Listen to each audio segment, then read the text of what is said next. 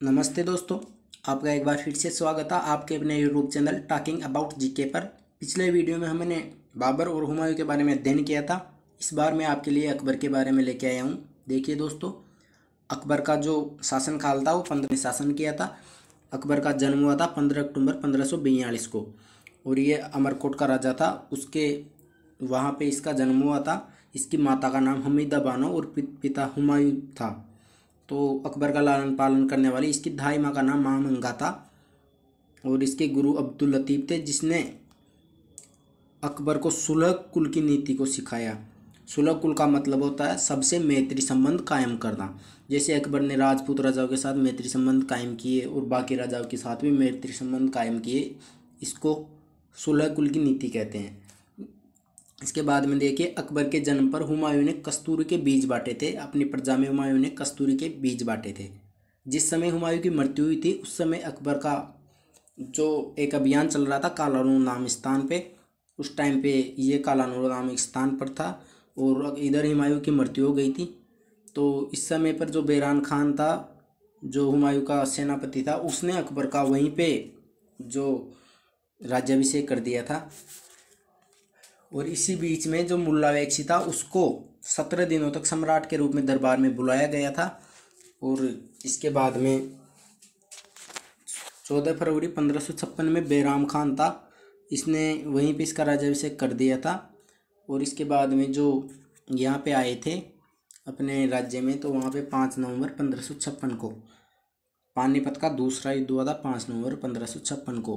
आपको पता होगा पानीपत का प्रथम युद्ध मैंने आपको पिछले वीडियो में बताया था। पानीपत का प्रथम युद्ध बाबर और इब्राहिम लोदी के बीच में हुआ था, जो पंद्रह सौ छब्बीस ईस्वी में हुआ था। तो यहीं पे पानीपत का दूसरा युद्ध हुआ था, जो हेम, हेमचंद्र विक्रमादित्य, उसके खिलाफ इस, ये दूसरा युद्ध हुआ था।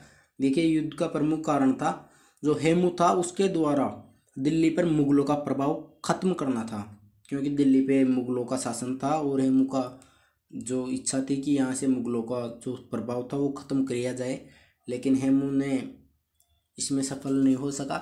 हेमू ने मुगल प्रशासक तारदी बेग था, उसको पराजित कर हेमचंद्र विक्रमादित्य के नाम पर स्वयं को शासक शासक घोषित किया और विक्रमादित्य की उपाधि धारण करने वाला यह है भारत का चौदहवा। भारत का चौदहवा और मध्यकालीन भारत का अंतिम हिंदू शासक था। जो मध्ययुगीन भारत था, उसका अंतिम हिंदू शासक था ये। और अकबर ने बैराम खां को हेमू के विरुद्ध भेजा, क्योंकि उस टाइम पे जब अकबर का राज्याभिषेक हुआ, उस टाइम पे अकबर चौदह साल का था तो इसके जो सेनापति था बैराम खान, वही इसके सारे युद्ध के बारे में जो सैनिक अभियान थे, वो सब बैराम खान ही देखता था। तो इसी समय पे बैराम खान को हेमू के विरुद्ध में अकबर ने भेजा था। तो इसमें हेमुता जो लड़ता हुआ मारा गया था और अकबर था, इसने बैराम खान को अपना प्रधानमंत्री नियुक्त किया और खान ए खाना, इसकी उपाधि अकबर ने बैराम खान को प्रदान की।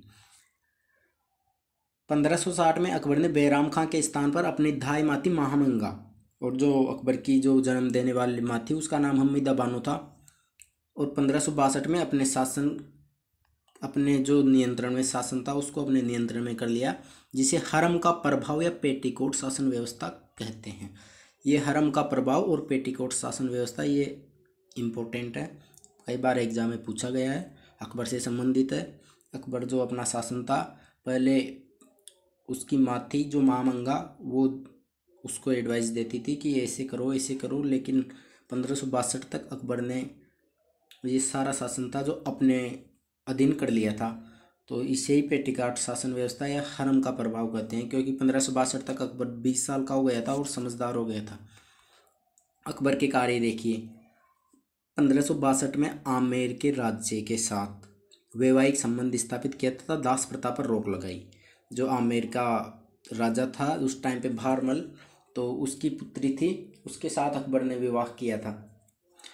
और पंद्रह में तीर्थ यात्रा कर समाप्त किया, जो हिंदू तीर्थ जाते थे, उसके लिए कर लिया जाता था, एक प्रकार का कर, उसको समाप्त किया था पंद्रह में और पंद्रह में जजिया कर समाप्त किया। जजिया कर होता है जो गैर हिंदू, गैर मुस्लिम होते हैं, उनसे जजिया कर लिया जाता था, उसको समाप्त कर दिया और पंद्रह में आगरा का लाल किला बनवाया। देखिए, पंद्रह में आगरा में लाल किले का निर्माण करवाया, लेकिन दिल्ली का लाल किला उसका निर्माण शाहजहाँ ने करवाया। पंद्रह में मेवाड़ पर आक्रमण किया, जिसके दौरान मेवाड़ का तीसरा जोहर हुआ और जयमल और फत्ता लड़ते हुए मारा गया। और पंद्रह सड़सठ, अड़सठ में मेवाड़ के जो शासन काल में जो वहाँ के राजा थे, उनका नाम था राणा उदय सिंह। उन्हीं के कारण, उन्हीं के शासनकाल में तीसरा ज़ोर हुआ था और जयमल फत्ता लड़ते हुए मारे गए थे। इस दौरान अकबर द्वारा कत्लेआम का आदेश दिया गया था। लगभग तीस हज़ार प्रजाति उनको मौत के घाट उतार दिया गया था। इसलिए इस कत्लेआम का आदेश था, अकबर का शासनकाल पर कलंक माना जाता है। पंद्रह सौ सत्तर में अकबर ने नागौर पर दरबार लगाया था। नागौर दरबार लगाया था पंद्रह सौ सत्तर में और पंद्रह सौ सत्तर इकहत्तर में आगरा के निकट फतेहपुर सीकरी बसाकर अपनी राजधानी बनाया। तो देखिए, इस टाइम पे अकबर ने पंद्रह सौ सत्तर में नागौर दरबार लगाया।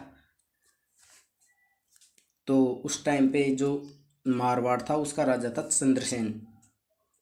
तो वो इसमें शामिल हुआ था, लेकिन अकबर की दीनता स्वीकार नहीं की थी। बाकी सारे राजाओं ने अकबर की दीनता स्वीकार कर ली थी।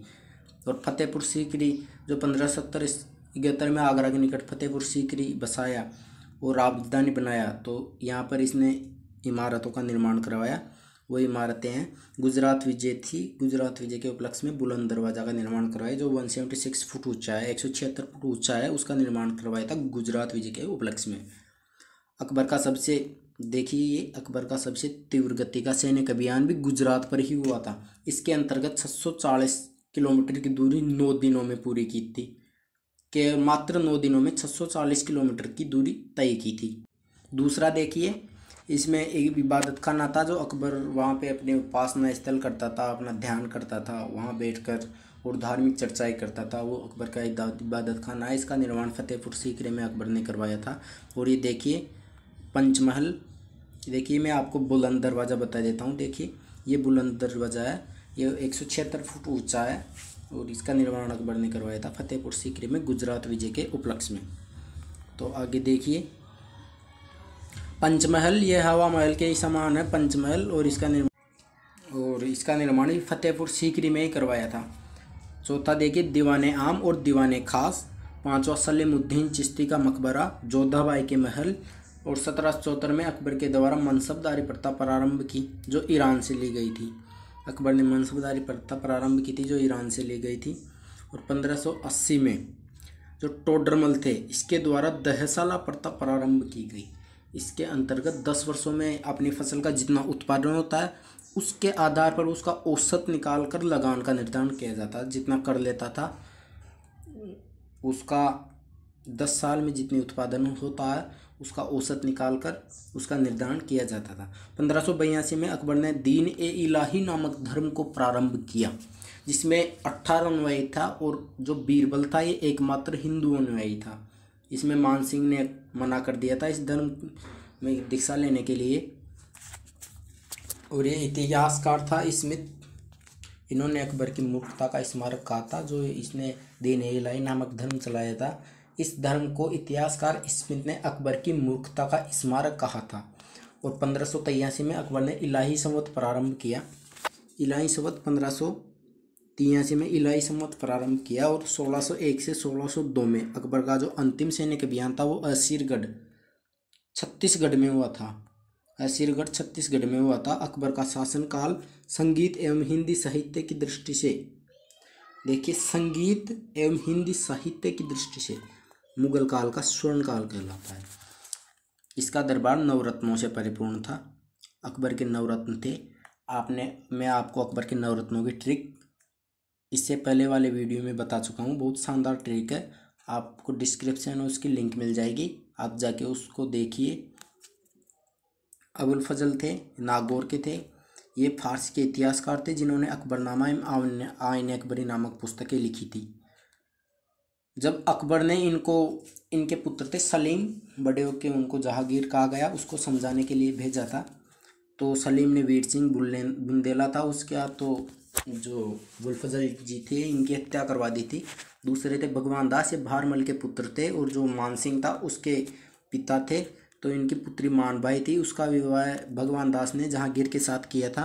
टोडरमल टोडरमल यूपी के थे। भूमि सुधारों के लिए जाने जाते थे। इससे पहले शेरशाह सूरी के दरबार में थे और इसके बाद में अकबर के दरबार में आए थे। तो दसाला प्रथा प्रारंभ की थी। बीरबल थे, इनका नाम महेश दास था। अकबर इनको रीवा के शासक थे, एमपी के रामचंद्र। उनके दरबार से बुलाया था, रामचंद्र के दरबार से बुलाया था। अपने हाजिर जवाबी के लिए जाने जाते थे। हाजिर जवाबी का मतलब कुछ भी कुछ भी प्रश्न पूछेंगे, तुरंत जवाब देंगे। इसे कहते हैं हाजिर जवाबी। मान सिंह प्रथम थे, भारमल के पुत्र, और जो भगवान दास थे, भगवंत दास उनके पुत्र थे। भगवान दास इनके पुत्र थे, जिनको अकबर ने सात हज़ार का मनसब प्रारंभ किया था, और हिंदुओं में सर्वाधिक मनसब था, यह है। मानसिंह को हिंदुओं में सर्वाधिक मनसब प्राप्त था।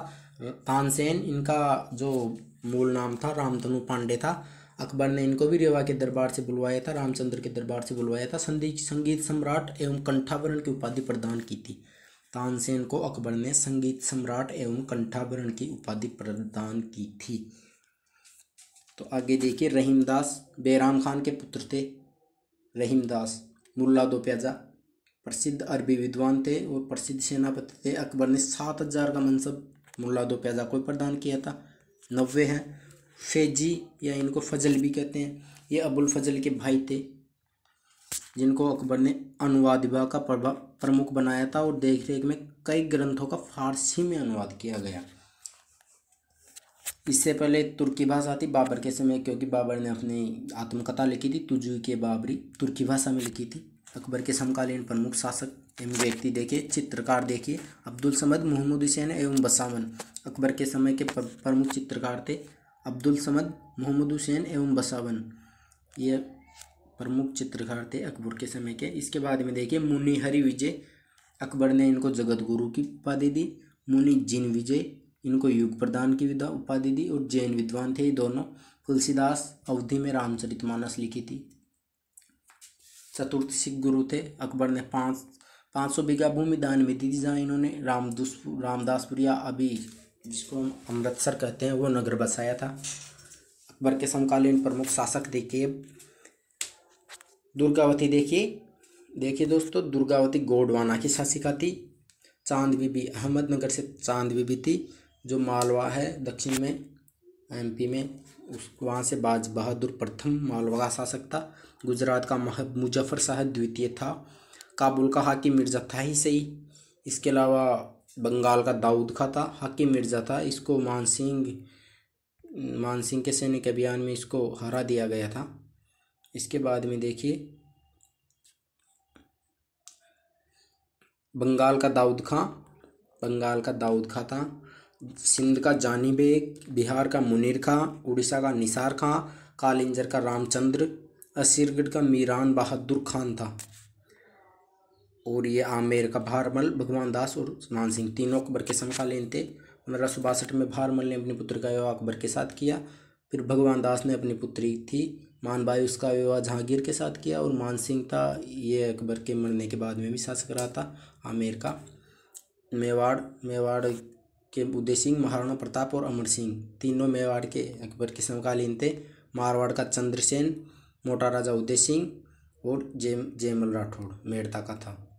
तो देखिए, मारवाड़ में जो अकबर का प्रथम अधीनता स्वीकार करने वाला शासक मोटा राजा उदय सिंह था। चंद्रसेन ने अकबर की अधीनता स्वीकार नहीं की थी मरते दम तक। लेकिन मोटा राजा उदय सिंह ने अकबर की प्रथम जो शासक था मारवाड़ का, जिसने अकबर की अधीनता स्वीकार की थी। मेड़ता का जयमल राठौड़। ये मेड़ता का जयमल राठौड़, वही जयमल राठौड़ है जो पंद्रह सौ सड़सठ, अड़सठ में युद्ध करते हुए मारा गया था। बूंदी व रणथम्बोर के सूरजन राय थे। बीकानेर का कल्याणमल। इसके बाद में इसका पुत्र था राय सिंह, जैसलमेर का हर राय भाटी। और देखिए 1605 में आगरा के निकट सिकंदरा में। कब? 1605 में। कहाँ पे? आगरा के निकट सिकंदरा में। इसकी अकबर की मृत्यु हो गई थी। सिकंदरा में अकबर की मृत्यु हुई और वहीं पे अकबर का मकबरा बना हुआ है। तो देखिए दोस्तों, आपको ये वीडियो कैसा लगा अच्छा लगा हो तो लाइक कीजिए, शेयर कीजिए और सब्सक्राइब कीजिए। और अपने जो आपको कैसा लगा ये आप कमेंट सेक्शन में ज़रूर लिखिएगा। और आपको टेलीग्राम लिंक ज्वाइन करने के लिए डिस्क्रिप्शन में आपको लिंक मिल जाएगी। इससे पहले वीडियो जो हमारे ट्रिक थे, अकबर के नवरत्नों की ट्रिक या चंद्रगुप्त के नवरत्नों की ट्रिक, आपको डिस्क्रिप्शन इनकी लिंक देखिए, मिल जाएगी। उसको देखिएगा दोस्तों। बहुत शानदार ट्रिक है और मिलते हैं नेक्स्ट वीडियो में, तब तक के लिए इजाज़त दीजिए, नमस्कार।